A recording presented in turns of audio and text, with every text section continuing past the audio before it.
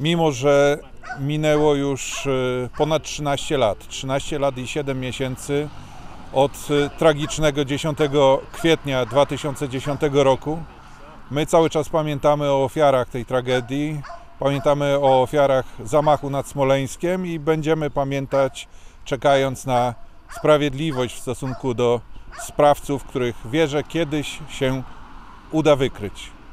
Cześć i chwała bohaterom.